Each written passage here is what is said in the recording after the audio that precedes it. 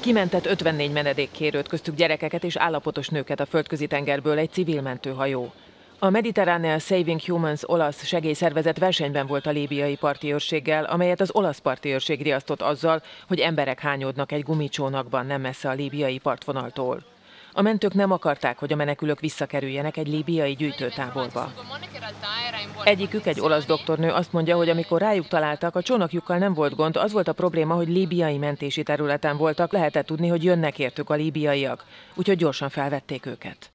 Egy másik lélekvesztő viszont elsüllyedt a tunéziai partoknál több mint 80 emberrel a fedélzetén. Tunéziai halászok négy embert kimentettek, de egyikük később meghalt a kórházban. A Mediterránea Alex nevű mentőhajója is Tunéziában kötött ki, mert az olasz belügyminiszter megüzente a Mediterráneának, hogy ha nem akarja elveszíteni ezt a hajóját is a Mare Jonio után, akkor ne az olasz partok felé vegye az irányt.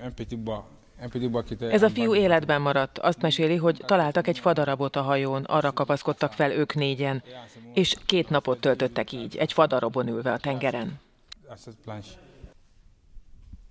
Az olasz kormány egy éve zárta le kikötőit a menedékkérők előtt. Azt a hajót, amelyik mégis kiköt, lefoglalják a hatóságok.